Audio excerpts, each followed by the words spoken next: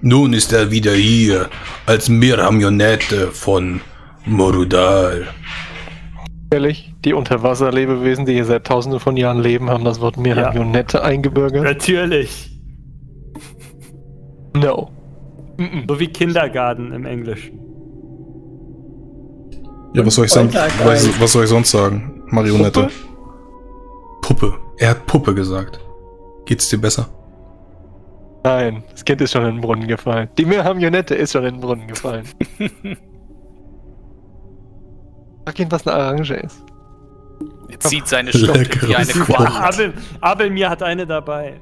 Natürlich hat er eine dabei, die er dann reinbeißen kann mit Schale So. Schluss jetzt.